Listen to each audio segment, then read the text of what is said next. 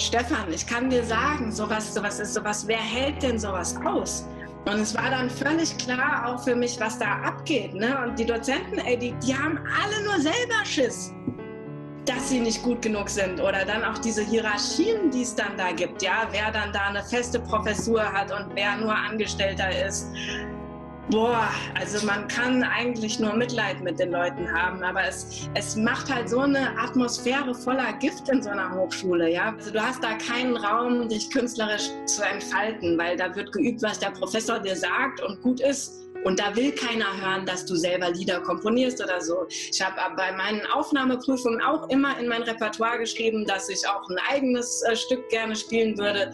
Hat keine Sau interessiert. Das wollte keiner hören. An dieser Hochschule, du kannst dir nicht vorstellen, das sind Leute, das sind Genies, die auch wirklich, die, die sind die sind Weltstars. Sie wissen es nicht. Und sie haben so krasse Blockaden im Kopf, dass sie noch nicht mal anfangen, weil sie das gar nicht checken, was da, was da läuft oder woran diese Blockaden vielleicht liegen könnten und so.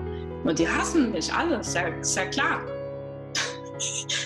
Ich bin fast am Ausflippen hier. Ich, ich, bin, ich bin vollkommen sprachlos und, und äh, ich, ich, mir fällt nichts mehr ein.